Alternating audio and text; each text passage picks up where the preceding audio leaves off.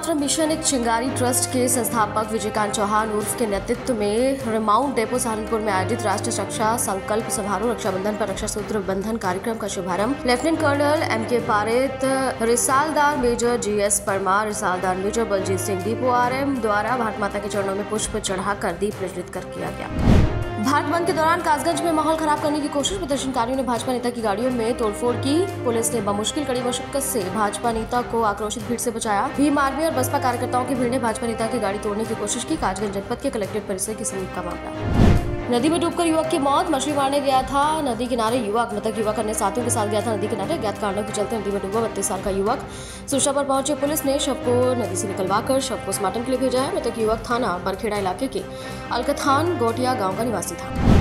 मोबा में भारत बंद के आह्वान पर एस सी ओबीसी सिख मोर्चा के बैनर तले इकट्ठा हुई कई राजनीतिक दल और संगठनों के हज़ारों लोगों ने कलेक्ट्रेट में पहुंचकर प्रदर्शन किया जमकर नारेबाजी की और सुप्रीम कोर्ट द्वारा अनुसूचित जाति और अनुसूचित जनजाति के आरक्षण को लेकर दिए गए फैसले का विरोध किया। सड़कों पर उतरे लोगों ने सुप्रीम कोर्ट के क्रिमिलियर कानून के आदेश को एस सी समाज के लिए घातक बताया।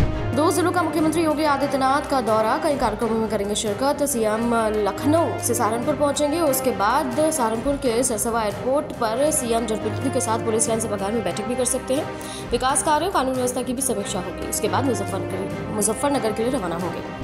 हरदोई पहुँचे आज़ाद अधिकार सेना पार्टी के राष्ट्रीय अध्यक्ष राष्ट्रीय अध्यक्ष और पूर्व आईपीएस अधिकारी अमिताभ ठाकुर ने लेटरल एंट्री को लेकर बयान दिया। लेटरल एंट्री देश हित में नहीं है, इसमें आरक्षण पर। कुटारघात होगा उनतीस हज़ार शिक्षक भर्ती में जाती हड़ताएँ भी उनको दरकिनार किया गया। भर्ती विरोध करने वालों पर अत्याचार किया जा रहा है। हमारी पार्टी की मांग है, न्यायालय के आदेश का पालन करना चाहिए।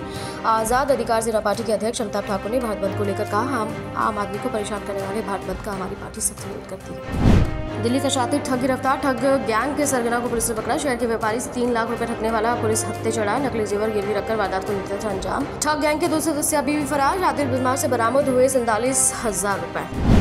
पारिवारिक विवाद में भाजपा के बूथ अध्यक्ष की पत्नी को बुरी तरह से पीटा गया जबकर चली लाठी घंटे घटना का वीडियो सोशल मीडिया पर वायरल हो रहा है। भाजपा बूथ अध्यक्ष की पत्नी को बाल पकड़कर घटिसने और डंडे से मारने का फ़ोटो भी वायरल हुआ है। पीड़िता का आरोप है, अब तक पुलिस ने दर्ज नहीं की एफआईआर। बिजनौर में आरक्षण के वर्गीकरण आदेश के विरोध में भारत बंद को लेकर हज़ारों की तादाद में लोग सड़कों पर उतरे। जोरदार प्रदर्शन करते हुए कलेक्ट्रेट पहुँचे, ज्ञापन जिलाधिकारी बिजनौर को दिया।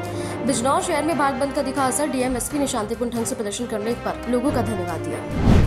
पीलीभीत के थाना निवरिया क्षेत्र के गाँव मटरिया निवासी मेघनाथ पुत्र वाले राम अपने खेतों की तरफ़ घास काटने गए थे। मेघनाथ जब घास काटे थे, पीछे से अचानक बाघ ने हमला कर दिया। बाकी हमले से मेघनाथ गंभीर रूप से घायल हो गया। शोर सुनकर ग्रामीण मौके पर पहुँचे। बमुश्किल बाघ के जंगलों से ग्रामीण को बचाया है। डायल एक सौ बारह से जिला अस्पताल में भर्ती कराया, जहाँ चिकित्सकों द्वारा घायल मेघनाथ का इलाज किया जा रहा है। भारत बंद के दौरान कासगंज में माहौल खराब करने की कोशिश की गई। पूरे भारत में एस सी समाज के लोगों ने सुप्रीम कोर्ट के निर्णय को लेकर भारत बंद का निर्णय लिया था। इसके चलते जिला कलेक्ट्रेट पर भी मार्मी और बसपा और समाजवादी पार्टी के लेकर नेता ने एकजुट होकर प्रदर्शन किया। भारत बंद को लेकर कासिमाबाद में तोड़फोड़ भीम आर्मी और बीएसपी कार्यकर्ताओं ने की तोड़फोड़। शॉपिंग मॉल को बंद कराने गए लोगों ने की तोड़फोड़, मॉल के शीशे तोड़े और शटर पर लगाए डंडे।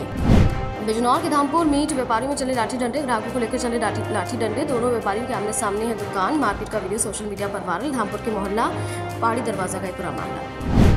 सुप्रीम कोर्ट द्वारा आरक्षण को लेकर हाल ही में दिए गए निर्णय के विरोध में अनुसूचित जाति, जनजाति, अन्य राजनीतिक संगठनों द्वारा भारत बंद का आह्वान किया गया। उत्तरकाशी ज़िले में भी इस बंद के तहत विभिन्न संस्थानों पर प्रदर्शन हो रहे हैं। एस टी और ओबीसी संगठन के द्वारा अन्य संगठन की पैदल रैली निकालकर विरोध प्रदर्शन की तस्वीरें भी सामने आई।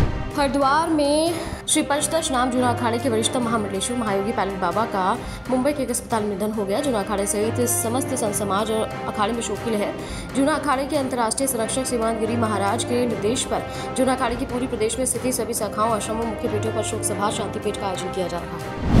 मुनिकृति में एंट्री देने की मांग को लेकर लगातार विरोध प्रदर्शन कर रहे रिक्शा और ई ऑटो चालक का विरोध गुटों में बढ़ता नज़र आ रहा है। विरोध प्रदर्शन में शामिल नहीं होने पर रिक्शा और ई ऑटो चलाने वालों को प्रदर्शनकारियों के विरोध का सामना करना पड़ रहा है। ऐसा नज़ारा पीडब्ल्यूडी राय पर देखने को मिला। भारत बंद आज सुप्रीम कोर्ट द्वारा एस सी आरक्षण मामले पर फैसले को लेकर दलित आदिवासियों का देशव्यापी भारत बंद आंदोलन उत्तराखंड भीम आर्मी का हरिद्वार जिला मुख्यालय पर विरोध प्रदर्शन। भीम आर्मी प्रदेश अध्यक्ष दीपक सेठपुर के नेतृत्व में महामहिम राष्ट्रपति के नाम धीरज सिंह गबरियाल, जिलाधिकारी हरिद्वार को सौंपा गया ज्ञापन। यूजीवीएल लिमिटेड कंपनी की आवासीय कॉलोनी में खेल मैदान लगाए जा रहे और सौर ऊर्जा प्लांट का महिलाओं ने किया विरोध महिलाओं का कहना है कि कॉलोनी में केवल यही एक खेल का मैदान है जिस पर सौर ऊर्जा का प्लांट लगेगा तो बच्चों को खेलने में परेशानी होगी एस सी श्रेणी में क्रिमिलियर को आरक्षण देने का विरोध तीर्थ नगरी में देखा गया। दलित संगठनों ने सड़क पर उतरकर सुप्रीम कोर्ट के फैसले का विरोध किया। संगठनों से जुड़े सदस्यों ने अंबेडकर चौराहे पर विरोध प्रदर्शन के बाद शहर में जुलूस निकाला। जुलूस एसडीएम कोर्ट पहुंचकर समाप्त हुआ। यहाँ सदस्यों ने एसडीएम के माध्यम से राष्ट्रपति को ज्ञापन भी भेजा है, जिसमें एस सी श्रेणी में क्रिमिलियर को आरक्षण देने को लेकर जो सुप्रीम कोर्ट ने फैसला दिया था, उसे निरस्त करने की मांग की गई है। सितारगंज में अनुसूचित जाति, जनजाति आरक्षण को लेकर समाज के लोगों ने शहर में जुलूस निकाला है। इसके बाद उप जिलाधिकारी के माध्यम से राष्ट्रपति को दस सूत्रीय मांग पत्र सौंपा है।